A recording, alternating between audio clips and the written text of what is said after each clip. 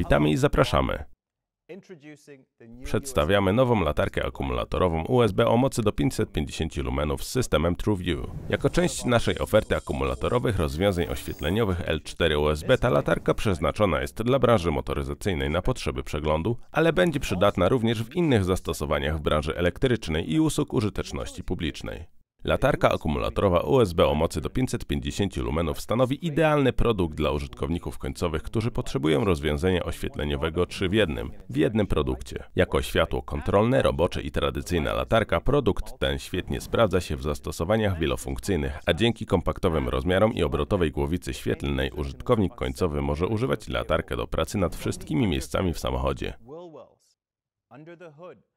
Od podwozia, nadkoli, prac pod maską, aż po wnętrze samochodu, użytkownik końcowy może korzystać z cech i funkcji tej latarki, aby zapewnić sobie najlepsze możliwe oświetlenie podczas wykonywania każdego zadania.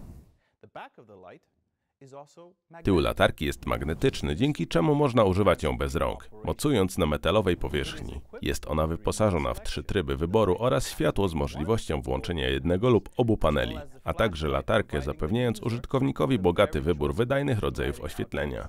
Latarka akumulatorowa USB o mocy do 550 lumenów jest wyposażona w przycisk intensywność, a jej wydajność jest po prostu niesamowita. Po włączeniu obu paneli i zastosowaniu baterii L4 3Ah czas pracy przy najwyższej wydajności 550 lumenów wynosi do 2 godzin, a w trybie obniżonej jasności 250 lumenów do 5 godzin. Latarka oferuje dwa tryby pracy. W trybie wysokiej jasności 250 lumenów będzie pracować do 2 godzin, a w trybie niskiej jasności 100 lumenów może osiągnąć czas pracy do 5 godzin.